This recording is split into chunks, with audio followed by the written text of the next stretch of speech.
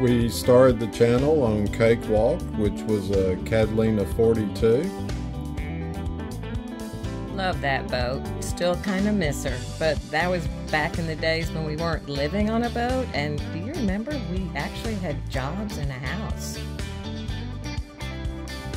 And now we have Isabella.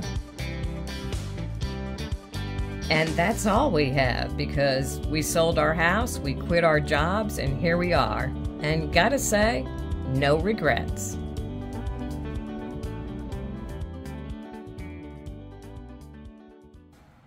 I seem to remember some Disney movie, Beauty and the Beast.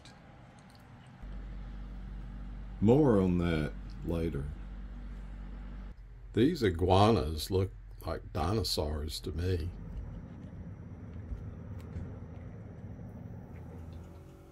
Just picked up some items Karen and I ordered. And while we're here, our new teak stool. And uh, it replaces an old beat up one we had that was coming apart. We actually use this in the cockpit as the uh, captain's chair. And this is a tall one so everybody can see over the uh, foredeck easier. And what did we order? These shiny lights here. We're into uh, lighting technology. so originally, uh, you know, we wanted it to be brighter in here, and it had one of these stainless puck lights, and we bought another one and installed it, and it is bright in here. Of course, it's daytime now. And hello. Hello. We have uh, these others that that's card stock. We kind of use as a what is it, a shield or something? Uh, you know, it's to keep it from kind of glaring. Uh, I guess you know at night you're wanting some nice mood lighting or something. Uh, these are around 3000 Kelvin, the two I've shown, which is a warm white, which is pleasing to the eye. And then over the nav station, you know, it's a bright white, it's probably 5000 Kelvin, 5500. And the same with the light over the panel. So the issue's been at night when, uh, hello again. Hello. At night, uh, when we're sitting in here and maybe if we have some friends over, uh, these four lights, uh, you know, uh, they're great, but it's still a little bit dim. So, these lights are bright, but a little bit harsh if you're kind of staring around. So we purchased these kind of futuristic looking disc lights.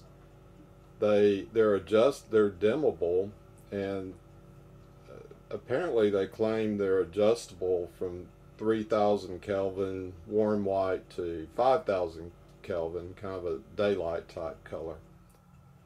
Although, as I recall, daylight is around 5500 Kelvin, the color temperature. Don't quote me on that. So we're going to put these two where these two are. And then one of these we're going to put on the ceiling in the VIP head. Steve, it's kind of like the revolving toilets. Hey, now wait a minute. Uh, A little I'm- bit I'm- easier. I'm not obsessed. I'm not obsessed. I'm not obsessed. Well, the jury's out on that. and here they are. My new bra. What do you think? Funny.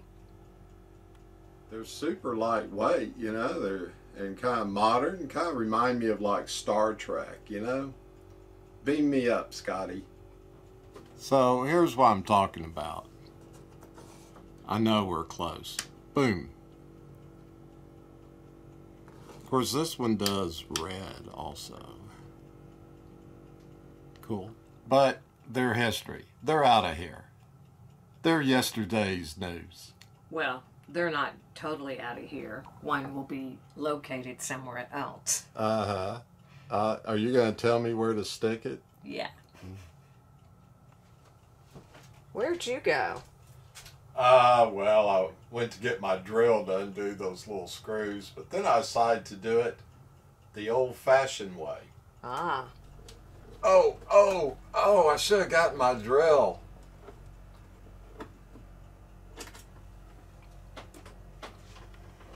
There's one banana. Two bananas. I don't even know what that means. Oh, it's getting loose. Uh-oh. Did you lose a screw? Wait, does that mean you have a screw loose? I do. Good thing that baby's not on. I'd be blinded. Whoa. Let's see. There it is.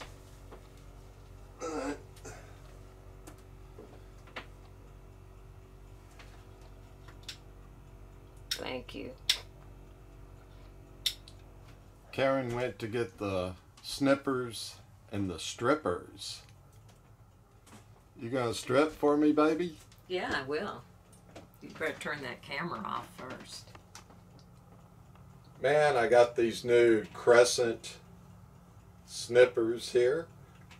They work great. My other ones had such a dull blade.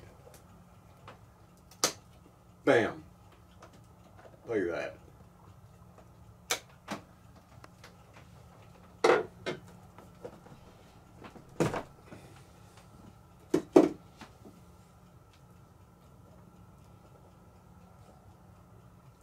Nice uh, tinned marine grade wiring, no doubts, Ancor.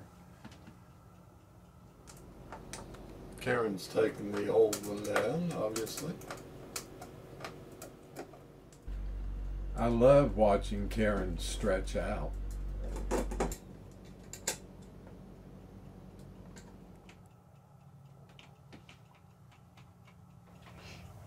And not only are they dimmable, but they have this nice blue ambiance. They're going to be so much better. And last but not least,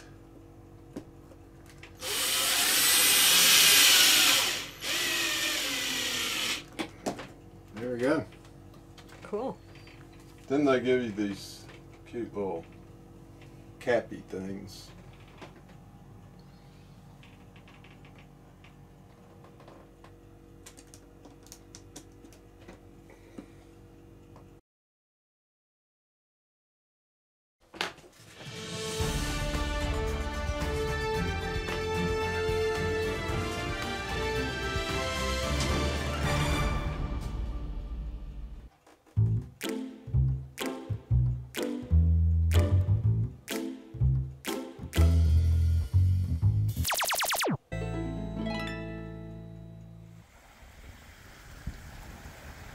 Hooray, the boring light installation segment is over.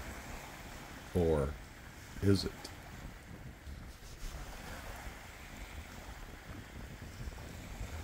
Bye bye, baby. So, where'd the other um, puck light end up? But here's the VIP uh, cabin. And here's, of course, the head. I believe this is the third toilet we had in the head, but now has the nice uh, quiet flush.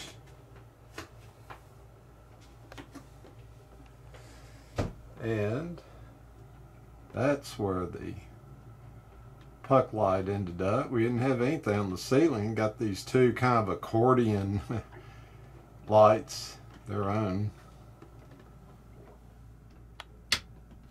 This one has a nice red light if you want to leave it on at night. There we go.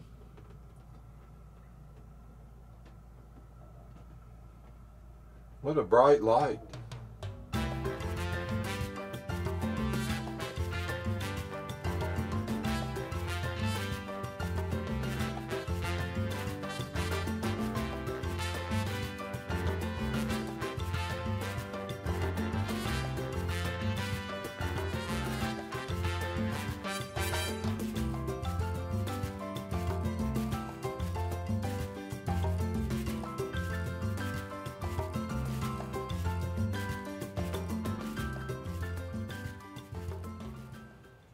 The fit and finish in this Mikado, uh, which is a CNSO boat, is uh, generally really good. There's African mahogany and teak in here. And we've done, what made quite a few improvements on it. Uh, replacing faucets, uh, lighting fixtures, Cushions. cushions, modernizing the galley. One of the things I really liked when we saw this boat was the nav area and how you have a, a desk, an actual desk over there. Um, now we've got our new uh, teak stool in front of it, and it gets kind of cluttered, but um, I really love the way that wood looks. Originally, when we bought the boat, she had a carpet on the floor, and Steve got all that up, and then we have this current flooring. Not sure, pretty much it's not going to be the end result, but it has cleaned up the boat quite a bit, and it's very easy to clean. Y'all have already seen some of the galley improvements we've done, and here's what we're working on today. Wait for me.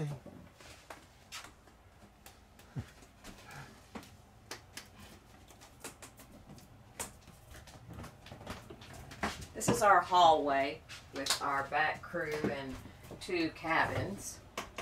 And somebody painted over some wood, which, you know, people do like to do, but we like exposed wood. So we've been taking the paint off and we're going to try to get this all off and have the nice uh, natural wood look here.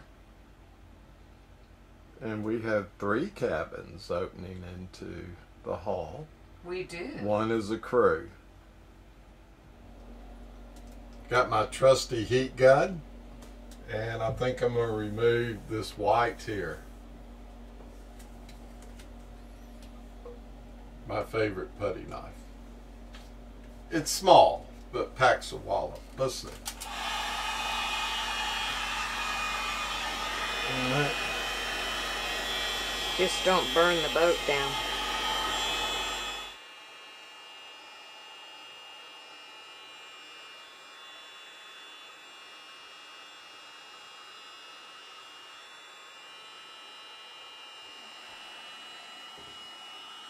Gun's hot.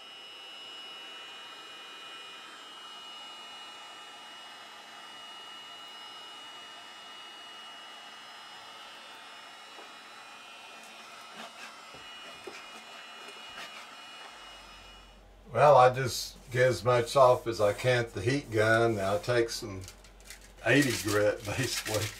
Get the rest off. Of course, I smooth it later. This is 220. And uh, comes off pretty well.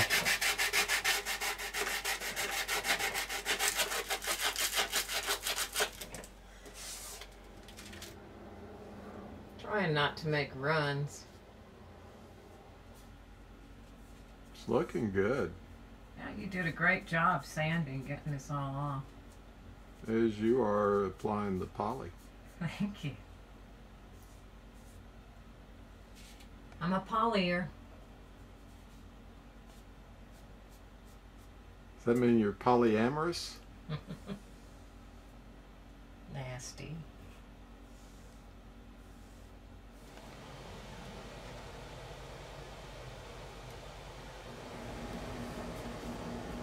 What are you doing? Give me something to screw, baby. I'll give you something to screw. Let me show you. Just follow me.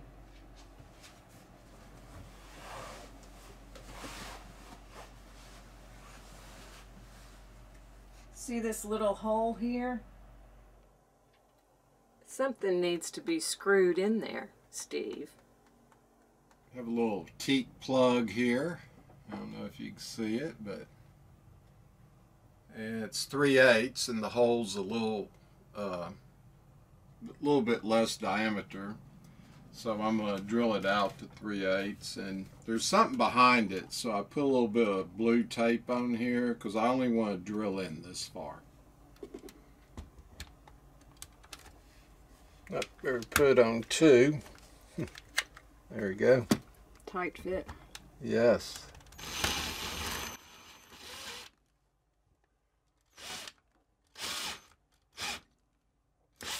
Okay. There we go. Be beautiful. May not even need glue on this baby. Should fit.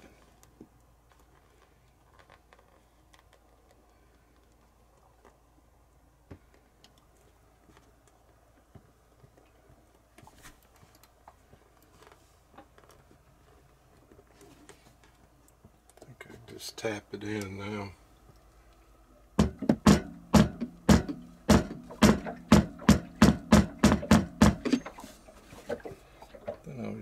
Trusty piece of wood. Try to go ahead and up. There we go. Yeah, thanks for plugging my hole with your wood. I'm so sick of doing DIY. It was flipping me out.